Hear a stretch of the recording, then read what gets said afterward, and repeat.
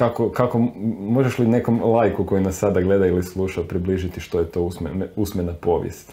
Pa, usmena povijest je zapravo istraživanje ljudskih sjećanja po kojem onda mi povjesničari, odnosno ostale znanosti, e, istražujemo određeni događaj, e, kao što bi, kao što ga, bi bilo da ga istražujemo proučavajući dokumente. Jel?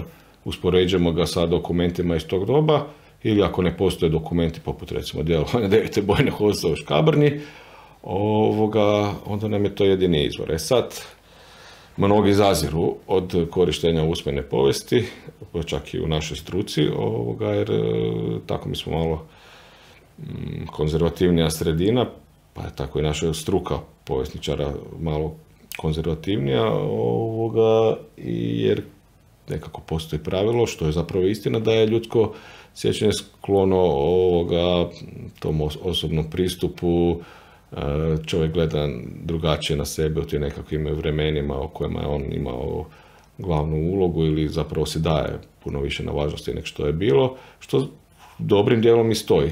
Dobrim dijelom i to jest e, stoji, no na nama je da onda to ovoga ili uspoređujući sa dokumentima nadopunjujemo Poput ove akcije prema Zemuniku od strane Hosovaca gdje imaš ne, dokumente s neprijateljske strane, pogibije i tišme i sl. Tako, a nemamo kod nas ništa, jel? Da. Kod nas nemamo ništa i ovoga onda, eh, onda, se, onda, onda to koristimo kao izvor. No, svi oni koji se pozivaju na dokumente imaju zapravo jedan problem.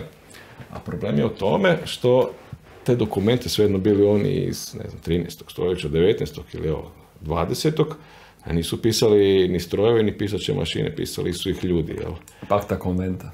E, I, ovoga, I ti ljudi koji su ih pisali imaju nekakve svoje jel, osjećaje i nekako svoj način gledanja stvari i zapravo čak ni policijska izvješća ne moraju biti baš ono potpuno e, potpuno točno što sam se i osobno uvjerio. I tako da rado rabim tu metodologiju i kako, kako onda kad se nađe to dvoje u koliziji, nešto što ti kaže netko, i recimo potvrdi još dvoje ljudi i, i dokument govori drugačije sa naše strane, od, ne, ne, znam, evo, sigurno si se našao u pa situaciji. Da, nebrojno puta, pa mislim, ono, istraživanje je ono dosta... E, Navedeš onda sa, ovi izvori govore ovako, ljudi se sjećaju onako, kako onda to skočiš tome?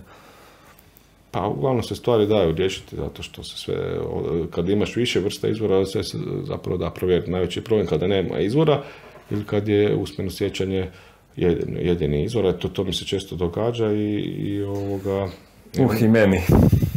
Evo recimo, ja sad primjer pišem knjigu o Bojni Frankopan, ovoga za koju ne, njihova uloga u obrani Kupresa, odnosno Šujice, nije baš ovoga nije istaknuta u, u tim rašlambama ovoga, bitke za Kupres.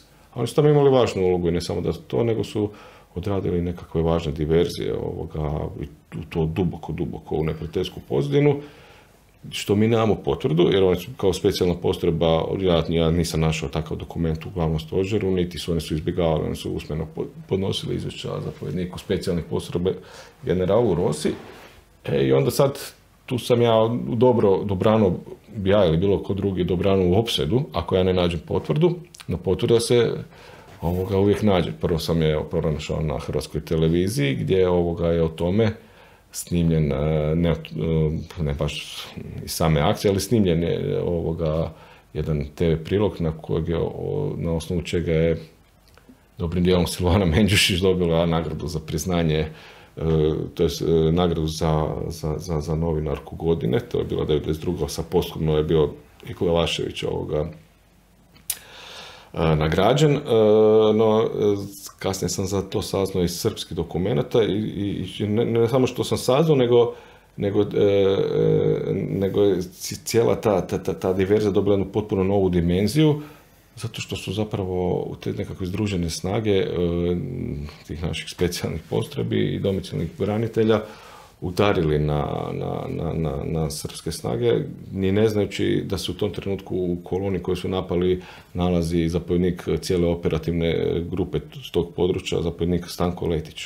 Ovoga, i, I onda je zapravo nastao jedan košmar e, u koji se uključili sve pješačke postrojbe, sve mehanizirano, čak i helikopteri ovoga, jer ono, ne, ne napadaš baš uh, duboko u, u, u, njihovom teritoriju zapovjednika cijele operativne grupe. To otprilike bi bilo kao da je nama neko Antu Gotovinu 94. napao, što za na području ono, Nina.